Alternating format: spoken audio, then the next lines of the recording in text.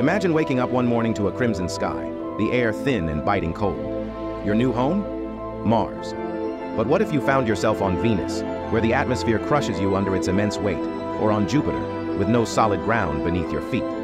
As humanity reaches for the stars, the burning question remains, how long can we truly survive on other planets? Join us as we explore the deadly beauty and harsh realities of our cosmic neighbors. Will we find new homes among the stars? Or are we destined to remain earthbound?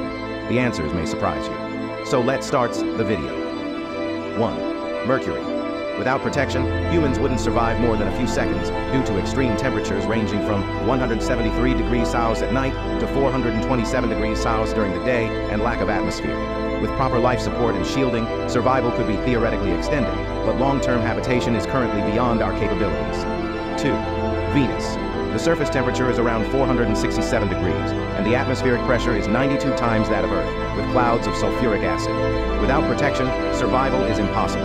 Even with advanced technology, living on Venus would be extremely difficult. 3. Jupiter. As a gas giant, Jupiter doesn't have a solid surface to live on. The immense pressure and extreme conditions in its atmosphere make survival impossible. The planet's gravity is 2.5 times that of Earth, which would make movement extremely difficult and exhausting. 4. Mars.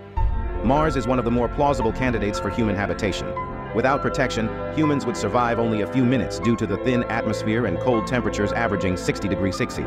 With life support systems, humans could potentially live for extended periods, and efforts like NASA's Mars missions are exploring the possibilities of long-term colonization. 5. Saturn. Similar to Jupiter, Saturn is a gas giant with no solid surface and inhospitable atmospheric conditions.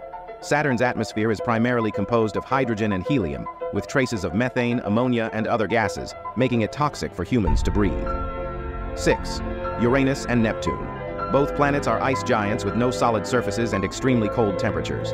Survival without protection is impossible. 7. Moon. While not a planet, the moon is a key focus for future human habitation. Without protection, humans could only survive for a few minutes due to lack of atmosphere and extreme temperature variations. However, with the development of habitats and life support systems, long-term habitation is being actively researched. In conclusion, with current technology, humans can only survive on other planets for a few seconds to minutes without life support. With advanced technology and life support systems, Mars and the Moon are the most viable options for extended human presence.